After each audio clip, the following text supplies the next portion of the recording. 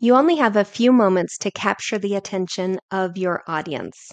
Once you have their attention, how do you keep it? Enter the lead magnet. A lead magnet is your secret weapon to grabbing the attention of your audience with a value packed free offer that they cannot ignore.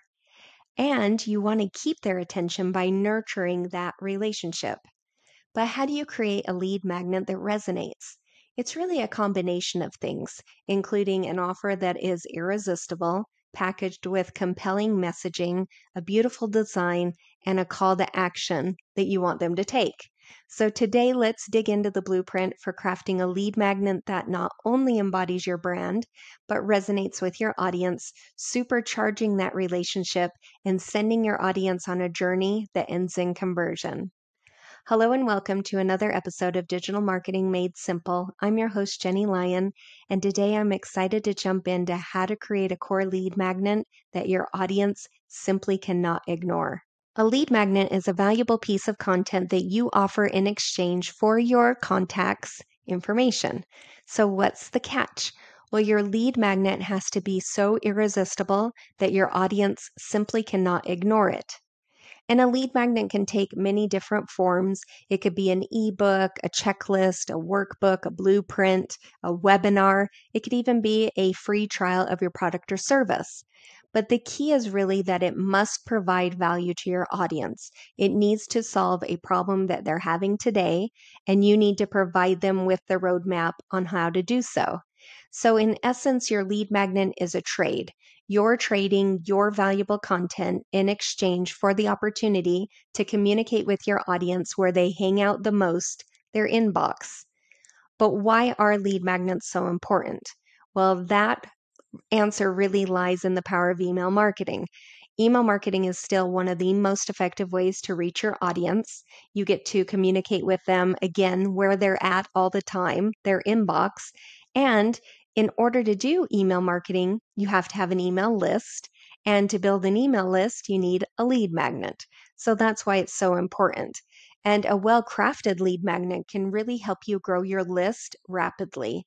It can attract a large number of leads, and those people are already interested in your products or services. So they'll become more likely to become a paying customer if your lead magnet wows them. But before you can create a lead magnet, you really have to understand who you're creating the lead magnet for. Your target audience is the most important factor. They are the people who are going to be most likely to engage with that lead magnet and potentially purchase your products or services. So we want it to be very valuable and created just for them. That's why understanding your target audience is so important. You need to know what they want, what they need, and what problems they're trying to solve. This information will allow you to create a lead magnet that your audience simply can ignore. But the first step is really understanding your audience's pain points. You have to understand not only who your audience is, but what problems or challenges are they facing. Your lead magnet really needs to offer a solution to one, just one of those pain points. It really needs to provide the information and resources that they need to overcome that particular challenge. So, for example, if your business is like mine and your target audience is small business owners, one of their pain points might be finding time to market their business. A lead magnet that would be very valuable to them would be a lead magnet that includes quick and easy marketing strategies that they can implement into their business today that will move them closer to their goals. That type of lead magnet would be very appealing to my target audience. But what if you have an audience that has a variety of pain points, or you have an audience that has a variety of ICAs?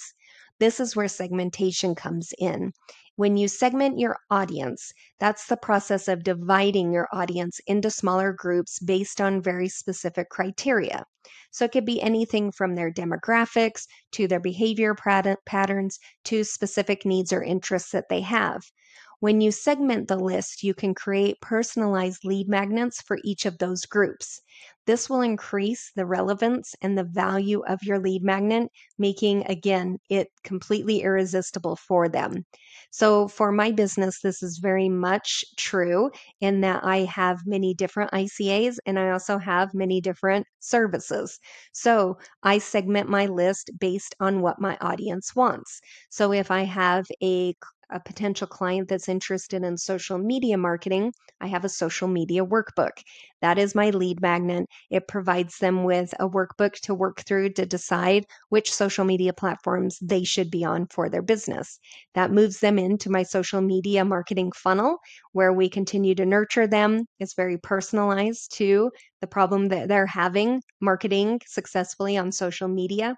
And it significantly has increased our conversion rates when it comes to selling social media packages. Well, there are many different types of lead magnets that you can create.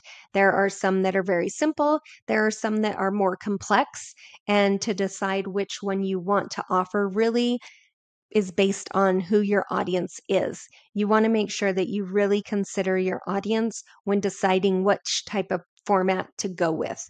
You know, so things like ebooks, checklists, webinars, quizzes, those are all very very popular types of lead magnets right now. We do a lot of ebooks if our client has specific information that's really in depth on a particular subject. Um, those can be very beneficial for B2B businesses or businesses that um, really have a focus on education, where education is really important where things like checklists and workbooks, those are very quick and easy to consume. So they're really great for audiences who want a simple and actionable guide to solve a particular problem. Um, webinars are another type of lead magnet that we create a lot of, and they're an interactive experience. They allow you to interact with your audience in real time. You get to answer their questions, they get to see you and get to know you. It's a very personalized experience. You can also look at quizzes. We create a lot of quizzes and calculators.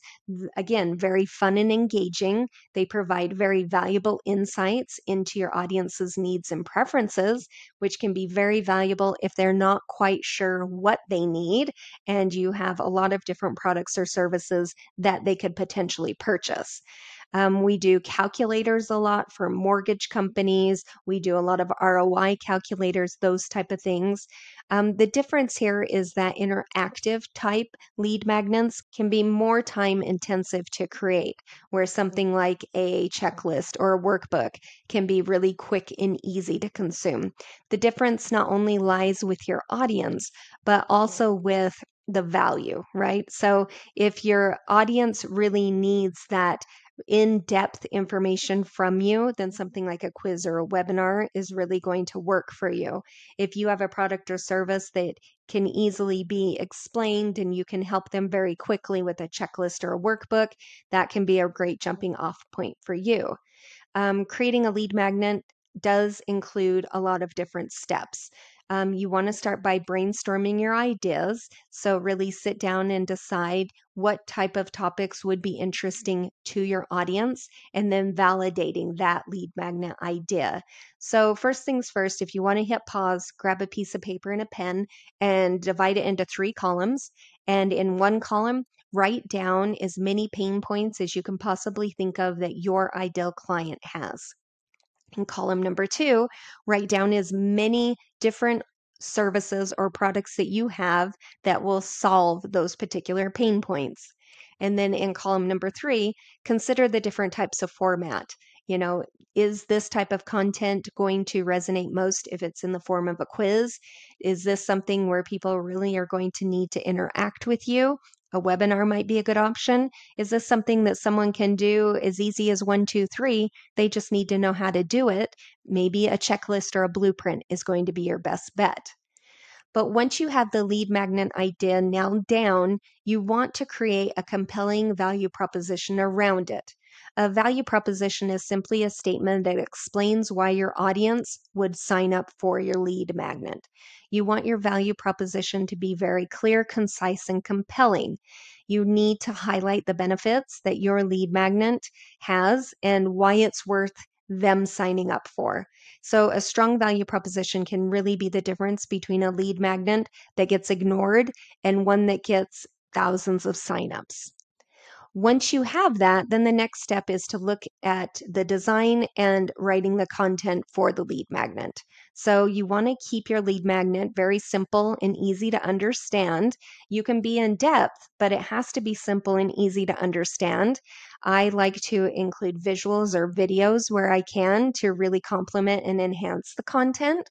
And of course, you want to make it actionable. You want it to be something that your audience can literally put into place in their business today or very quickly and make it happen. You know, they they download the lead magnet, they read it, they go through it, they put it into place, they do all the actionable items and they see success. That's what we want.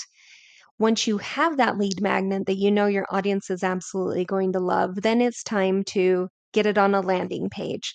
So, a landing page is where you're going to put all the information about your lead magnet. That way, you have a link for it that you can share through social media, through your content that someone can click on. They come through to the landing page and they can opt in. You do want to ensure that your lead magnet landing page is optimized. So, you want to optimize it for things like your headline, your copy, the design, and the call to action. And each of these items are really important in convincing your audience that they absolutely need this offer. So that headline is going to be the first thing that they see. It needs to hook them, it needs to grab their attention, it has to make them want to learn more. So that should be followed by copy that is very clear and concise your copy should highlight the benefits, why someone would want to sign up for it, what the transformation at the end of completing the lead magnet would look like. And it needs to be designed in a really clean and easy navigational way. It needs to be something that someone understands, that someone can sign up for immediately with a very, very clear call to action that prompts them to sign up. Once you have the landing page live, you want to monitor its performance, right? And you can do that a lot of different ways. One of the ways that I always do it is to see how many people are signing up for it, right? If you start to see that you're getting a ton of people signing up for it, then you've probably hit lead magnet gold. If you see a lot of people are coming to your landing page, but they aren't converting, then that's time to kind of go back and look. You might want to test different headlines. You might want to try either shorter copy or longer copy. Maybe the design is just a little too much and they're not quite certain where to go or the call to action isn't strong enough. So you want to tweak those things. Once you do get the lead magnet to a point where it is converting, people are not only landing on the landing page, but they're opting in, then you'll want to start to promote it everywhere. So you want to send it out through social media, through all of your content. You can even send it out to your email list if they haven't opted into it previously. You could show them, hey, I created this for you as a gift, or you could send it to them and ask them to share it with their friends and family, whatever you need to do. But once that lead magnet is live, it's being promoted, it's starting to convert, you know, then I always like to ask for feedback from my audience. So at first, when I launch a lead magnet to several people that opt in, you know, probably the first couple of dozen people to opt in, I will reach out to them with a follow up email, just asking for feedback, just asking them, you know, why they signed up, what did they find valuable? Did they feel like it supported them where they were at? Did they get a quick win from it? You know, I ask them really in depth questions. I'll also do this through social media, polls, surveys, that type of thing, because that feedback can really help you to really fine tune that lead magnet so that it becomes more and more valuable to the next people that opt into it. Now, there are some common pitfalls when it comes to creating your lead magnet that I think you should be aware of. So, one of them that I see a lot, especially when clients come to us who already have a lead magnet, but it isn't converting, these are usually the reasons why. Number one, it doesn't provide enough value. Um, I've seen lead magnets that are very, very simple to the point where I could see the audience opting in and then having like you know, opt in remorse that, oh my gosh, I gave my email address away for this. I already knew this. This isn't helpful. And then on the flip side, we have a lot of clients that come that their lead magnets are way too involved. We had a client recently who had a 64 page workbook. The workbook was incredible, but it was way too much for someone who was just kind of jumping off and it was overwhelming. So, while when we did survey the audience, a lot of them said, you know, it's it's an incredible lead magnet, but it's too advanced for me. It's kind of going over my head, and I just kind of needed to know where to start. And this is kind of an overall plan. So, in that case, we just help the client to kind of narrow down the lead magnet to focus on one, just one quick win. And then we pulled out everything else to be a part of the program that she was trying to sell. And then, um, you know, if it's too simple, again, just the opposite. You want to make sure that it provides value. But either way, once you do have that lead magnet, it's converting, your audience loves it, they get into your funnel, you're nurturing them. You really want to revisit your lead magnets on a regular basis. You want to make sure that the content remains relevant and valuable over time because information changes, trends change, industry changes. You would be surprised that a lead magnet that was even created a year ago could be obsolete now. So make sure that you're regularly updating your lead magnet to ensure that everything is current and that your audience is still going to find it valuable. So just keep your finger on the pulse of that. But as we look to the future, it's very clear that lead magnets will continue to play a really critical role in your online marketing. They are still a really powerful tool for attracting and converting leads. And I think that their importance will only grow as competition in this online space grows. So, to stay ahead, it's really important to keep your eye on emerging trends. You know, so for example, right now, interactive content is very popular. So, if you don't have a quiz or a calculator or a webinar, now would be the time to implement one of those as a lead magnet. And creating a successful lead magnet does require time. It requires understanding your audience. You want to ensure that you're choosing the right type of lead magnet, you're creating really valuable content that resonates with your audience, and that you're promoting it effectively. And it can take time and some effort, but the rewards are definitely worth it. So if you're still struggling with your audience, jump over to jennielyon.com forward slash ICA, download our ICA template. You want to make sure that you understand who you're creating the lead magnet for before you ever even start to create that lead magnet. And then jump over to jennielyon.com forward slash lead magnet to download our core lead magnet workbook. It's a blueprint and a workbook that is a companion piece to this podcast. It will guide you through the lead magnet creation process. And of course, if you need help with creating a lead magnet, or maybe you have a lead magnet that isn't converting and you want someone to audit it, take a look at it, help you to get it converting, we're here for you. That is what we do.